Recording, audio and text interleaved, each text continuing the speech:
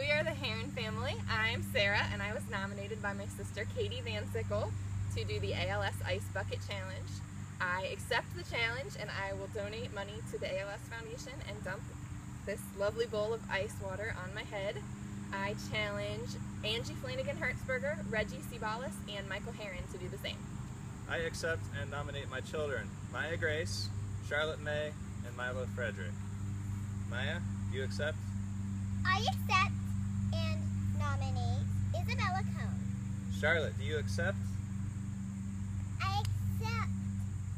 And nominate. I accept and nominate Aunt Laura. Milo, do you accept? Yeah, it's just Who do you nominate? nominate and Uncle Patrick. Okay, here we Okay, go. ready? One, two, three. Pick Okay, 'em up Charlotte, Milo, pick up your buckets and dump them on your head. it Nope, we're doing it all, All at the same together. time. Put your goggles on, Charlotte. Ready? One, two.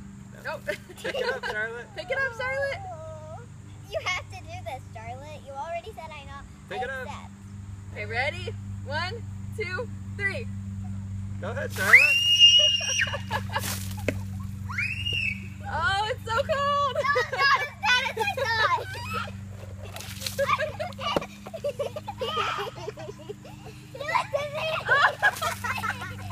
24 hours.